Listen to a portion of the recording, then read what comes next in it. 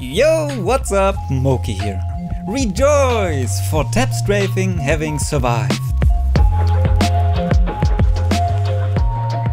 Respawn just tweeted that they are not touching tap strafing with the patch that comes with the Evolution Collection event. This is incredibly good news, after they announced two weeks ago that they would remove it.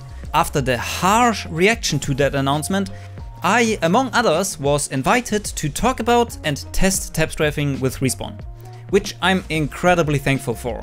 It's an honor that they trust me in this topic enough to have me on a call like this. I feel we had a very level-headed and insightful talk about tap strafing with them. For now, they decided to not go forward with the intended fix for tap strafing, cause it's affecting other movement tech. For the sake of, I don't know, professionalism, I'd like to not talk about the specifics of what triggered that or what they intend to do in the future, until they decide to communicate more publicly.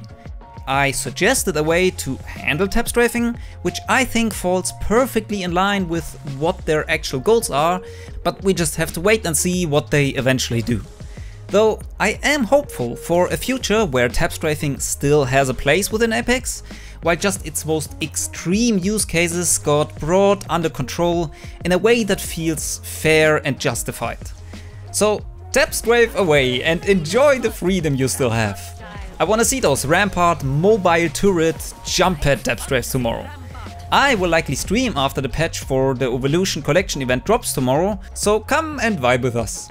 Thanks so much for watching, long live tap strafing, and I will see you in the next video. Bye!